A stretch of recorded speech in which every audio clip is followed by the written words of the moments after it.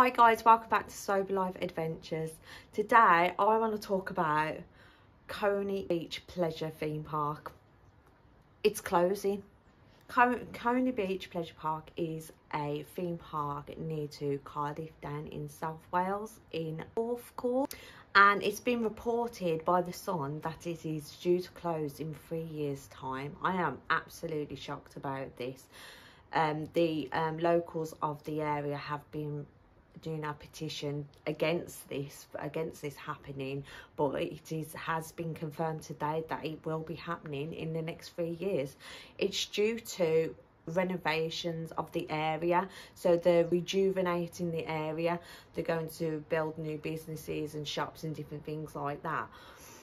Um yeah this theme park it has been open for 103 years. Can you believe that? 103 years and they're just going to close it like that.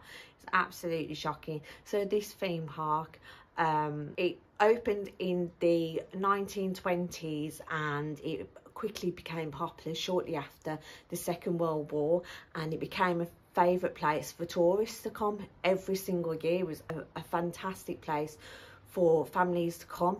Now guys, this park is closing in three years time.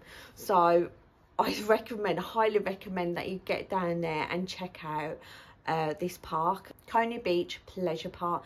Get down there and check it out because it, it's not going to be there for long guys. So let me give you some information the ride, the uh, theme park has over 20 rides and attractions and it includes rides like beach party and also includes mega spin. And that mega spin I love this ride. This ride is so epic. Honestly guys go and check it out. I love this ride. Write in the comment section if you agree because this for me this ride is like it is just mwah. It's it's so so good.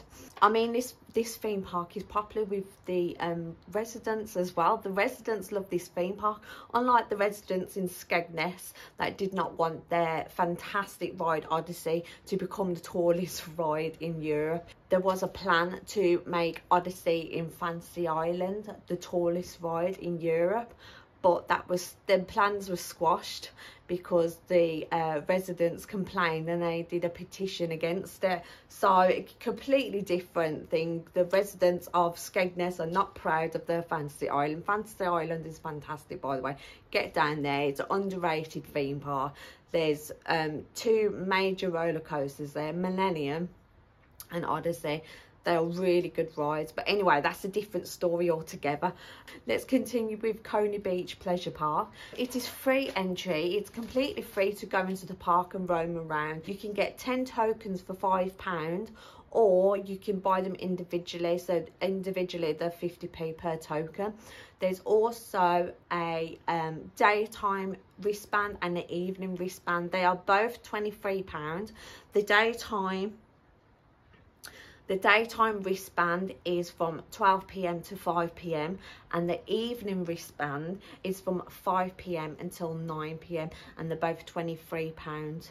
There's also packages you can do if you go as a large group as well. So yeah guys, so yeah, sad news, I'm afraid. Um, but yeah let me know. Have you ever been to this um, theme park? And what were your experiences? Write in the comment section guys. My next video will be about the wave in Coventry. It's a water park in Coventry and me and my youngest we went there to check out the slides and stuff and yeah we're going to be sharing that next on hopefully on Monday. So stay tuned guys and please like and subscribe if you're interested in this content and yeah take care. Talk to you later guys. Bye. I want to do a dedication to francisfrith.com um, I use them, they're two, the two old pictures that I use in the video, they are from um, that website, francisfrith.com. Go onto their website and book yourself a gift. They do, they do cups, pillows, uh, wallpaper. They do all sorts of fantastic gifts um, for, you know, for them old-time memories, guys. Um, yeah, get on to them, book your gifts now because Coney Beach pleasure park ain't going to be around um, forever and it's a part of history so go and grab yourself a bit of history on a cup or, or on a, a pillow and yeah hopefully next time i'll see you next time guys. Yeah take care